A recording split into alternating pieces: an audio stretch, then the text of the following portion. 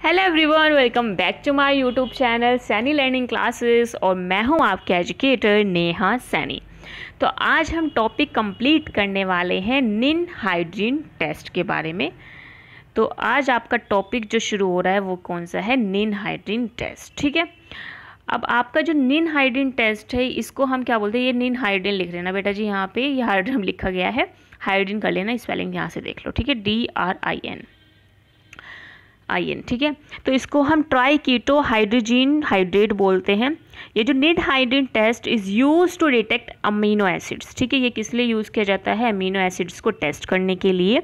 और जो free ammonia present होता है अमीनो एसिड्स के अंदर उनको टेस्ट करने के लिए, ठीक है? पेप्टाइड्स और प्रोटीन्स को टेस्ट करने के लिए।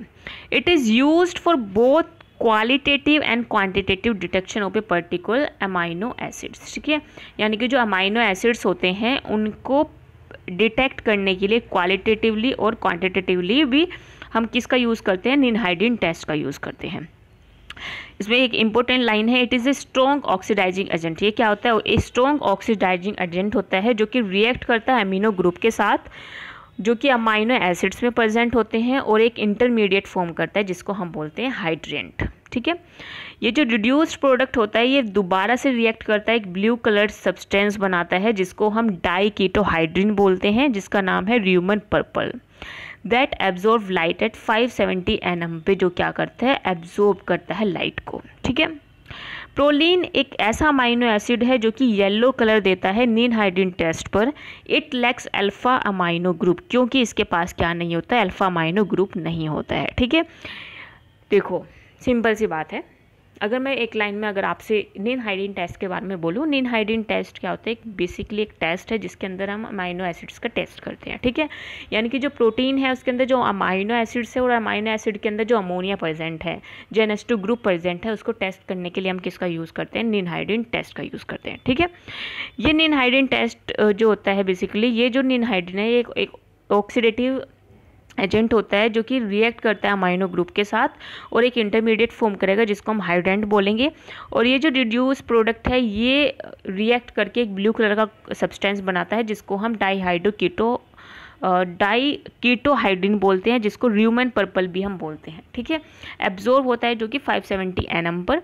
इसके साथ अगर हम देखें प्रोलिन प्रोलिन के पास क्या नहीं होता? प्रोलिन के पास अल्फ़ा अमाइनो ग्रुप नहीं होता है, इसके पास इम्यूनो ग्रुप होता है। तो इसकी वजह से जो प्रोलिन है, वो येलो कलर शो करता है नीनहाइड्रिन टेस्ट में, ठीक है? किस तरह से करता है, वो चीज़ अभी हम डिस्कस भी करेंगे। अब देख लेते हैं इसका प्रिंसिपल क्या होता है। The amino group belonging the amino group belonging to a free uh, amino acid undergo chemical reaction with ninhydrin जो अमाइनो ग्रुप प्रेजेंट होता है एक फ्री अमाइनो एसिड के अंदर वो किससे रिएक्ट करता है? केमिकली रिएक्ट करता है निनहाइड्रिन के साथ जो कि बिहेव कर रहा है एक ऑक्सीडाइजिंग एजेंट की तरह।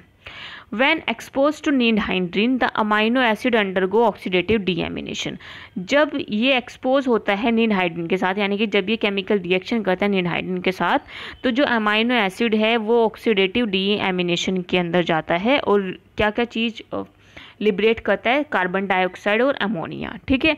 यहाँ पर अगर आप इस उसमें देखेंगे, ये जो निन हाइड्रीन है, जब ये फ्री अमोनिया ग्रुप के साथ, ये जो एन ग्रुप यहाँ पे प्रेजेंट है, इसके साथ जब रिएक्ट करेगा, ठीक है?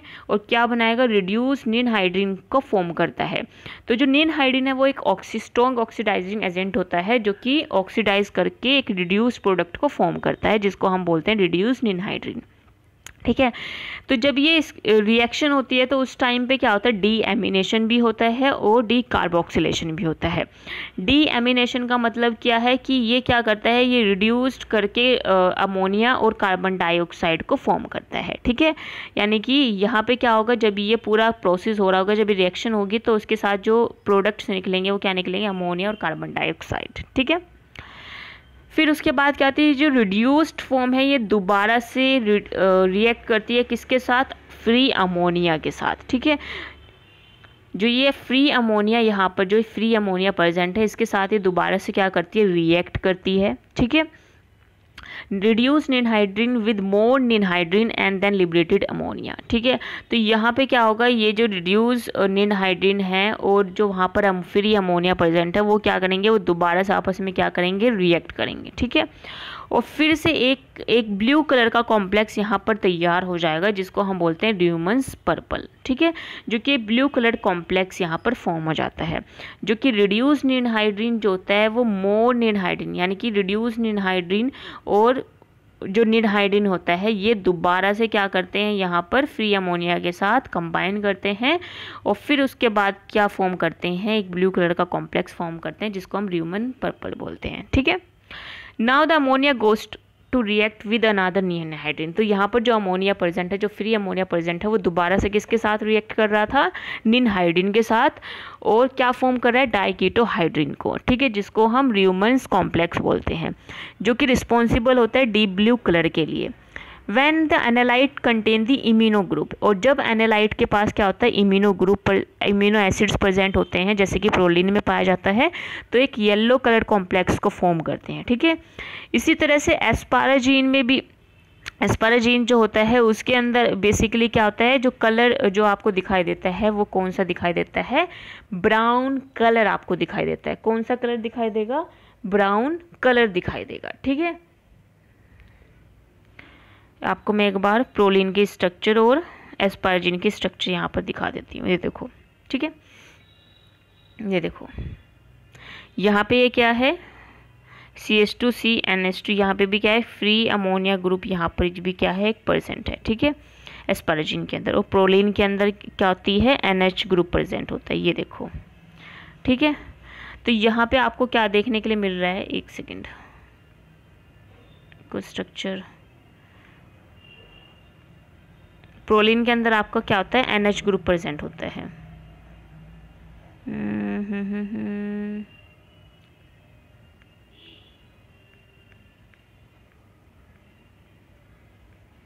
यहीं पे देख लो, ठीक है? यहाँ पे आपका क्या होता है? एन एच ग्रुप प्रेजेंट होता है, इस तरह से। एन एच ग्रुप इसको हम इम्यूनो ग्रुप बोलते हैं, ठीक है? तो प्रोलिन के अंदर क्या होता है? इम्यूनो ग्रुप प्रेजेंट होता है, जो क्या करता है? ब्राउन कलर शो करता है, ठीक है? इसी तरह से जो एस्पाराजीन है बेसिकली एस्पाराजीन के पास भी क्या मिल रहा है आपका? एस्पाराजीन के पास भी आपको फ्री अमोनिया मिल रहा है, ठीक है? क्या मिल रहा है? फ्री अमोनिया मिल रहा है और उसके साथ साथ वहाँ पे कीटोन ग्रुप भी प्रजेंट है। अभी आपने देखा। ये देखो। ये देखो। ठीक है?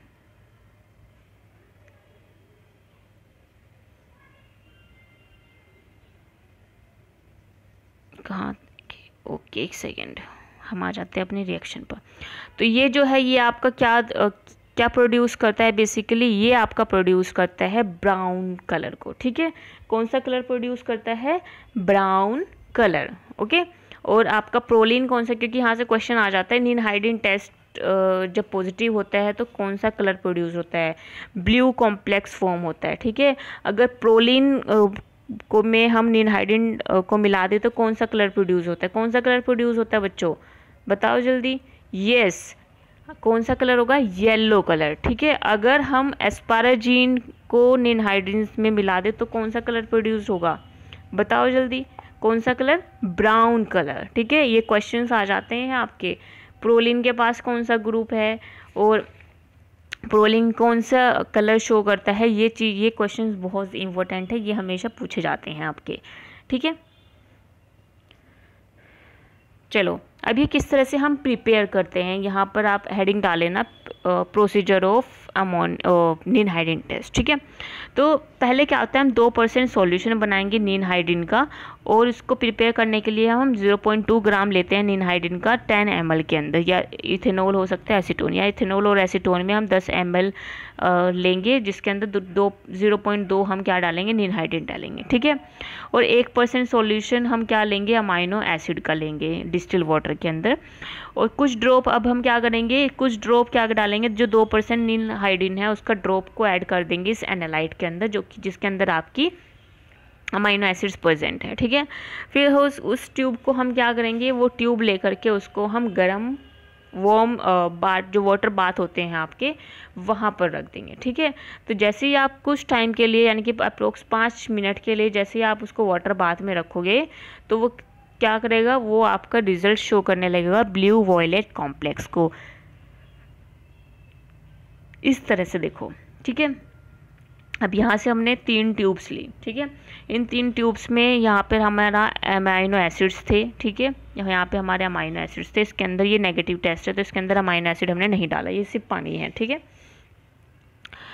तो बेसिकली इस टेस्ट को करने के लिए हमने क्या किया? यहाँ पर अमाइनो एसिड डाले, यहाँ पर अमाइनो एसिड डाले, इसमें सिर्फ़ वाटर रखा ओके अब हमने इसमें दो परसेंट इनहाइड्रीन जो डाला, दो चार बूंद हमने इसकी इसमें डाल दी, कुछ बूंद इसमें डाल दी, कुछ बूंद इसमें डाल दी, ठीक है? तो हम क्या देखते हैं, इसके अंदर कोई भी कलर जो है, ब्लू, पर्पल ब्लू कॉम्प्लेक्स जो है, वो नहीं बना है। इसका मतलब क्या है, ये नेगेटिव निनहाइड्रीन टेस्ट है, ठीक है? अगर ये पर्पल ब्लू कलर फॉर्म हो जाता है, इसका मतलब क्या है कि ये क्या है, पॉजिटिव निनहाइड्रीन टेस्ट है। अगर आपका येलो कलर फॉर्म हो रहा है, इसका मतलब क्या है कि आपका अमाइनो एसिड कौन से वाला है?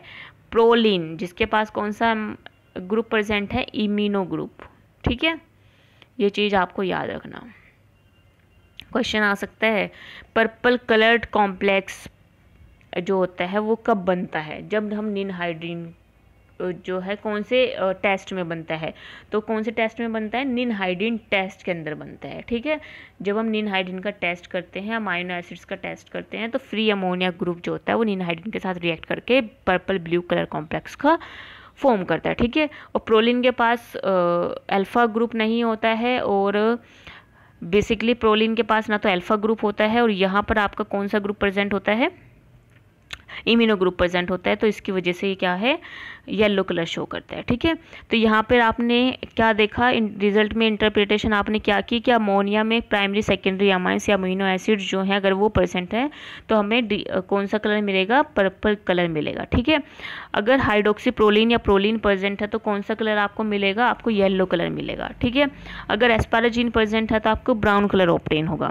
अगर कोई चेंज नहीं हो रहा है आपके ट्यूब के अंदर, इसका मतलब क्या है, उस एनालाइट के अंदर कोई भी अमाइनो एसिड नहीं है, कोई भी अमाइन ग्रुप नहीं है या कोई भी अमोनिया नहीं है, ठीक है? तो ये क्या है आपके रिज़ल्ट की इंटरप्रिटेशन है। अब यहाँ पर आपका ये जो टॉपिक है वो कंप्लीट होता है। आई होप आज की वीडियो आपको पसंद आई होगी। If you like it you can like share subscribe to my channel मिलते हैं अब नेक्स्ट वीडियो में। Bye everyone thanks for joining